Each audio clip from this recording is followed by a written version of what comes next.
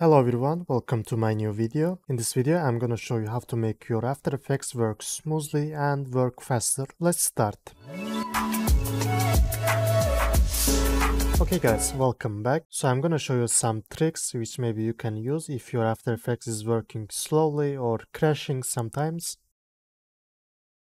So the first thing that I'm gonna show you, you can allocate more RAM to After Effects. For that we're gonna go to the edit and then there is a preferences and from preferences you can just come to here and select the memory and performance let's just click to here and as you can see I have a 16 gigabyte RAM and from here I can change the RAM available for my After Effects. You can just change it from RAM reserved for other application, but I recommend you to give them 5 GB. If you have 16 GB like me, or if you have more, you can just do it but 5 GB is more recommended for other applications.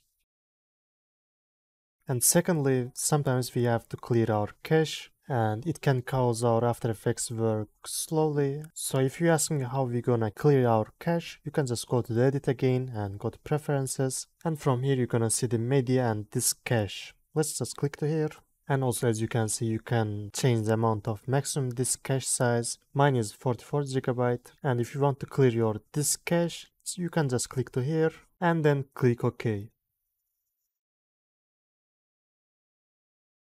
As you can see it's done and there is no cache on my disk and the third thing that I'm gonna tell you, sometimes we can use 3D animation in our After Effects. So when we try to see our animation, it can work slowly or it doesn't load. So to fix that, you can just change the resolution of it from here. You can use a quarter maybe. It's up to your PC. And the next one is the use GPU acceleration. For that, we're gonna go to the edit again and then go to preferences. And from here, we're gonna see the display. Let's just click to here and then you're gonna see the hardware accelerate composition, layer and footage panels. I recommend you to enable it and the reason why I recommend it because using GPU instead of the CPU speeds up effects like glows, color correction and etc. And after enabling it just click to here and the next one that I'm gonna recommend you, if you have SSD instead of the hard disk, you have to install your After Effects to your SSD because After Effects is working smoothly in SSD instead of the hard disk. Also with SSD, you can access the files speedily and you will have a less time for the loading. And lastly that I recommend you, if you have some programs that is working in background, you can just turn them off because they are using your RAM, CPU or maybe GPU, which it will cause your After Effects work slowly. Also I will show you in the video my PC parts and you can just check them and compare with your PC.